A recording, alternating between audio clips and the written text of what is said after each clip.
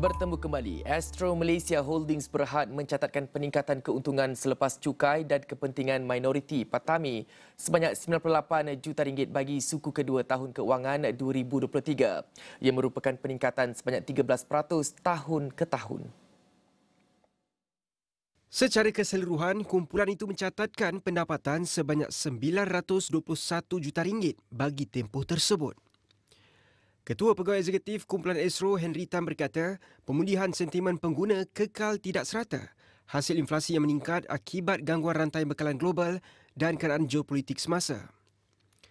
Esro turut menyaksikan pendapatan pengiklanan atau EDAX meningkat kepada 199 juta ringgit dengan pengiklanan radio REDAX dan digital EDAX masing-masing meningkat 16% dan 5%.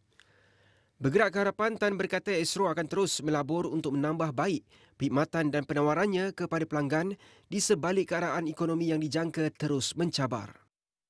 Susulan keputusan tersebut, Esro mengumumkan dividen interim kedua sebanyak satu sen sesaham.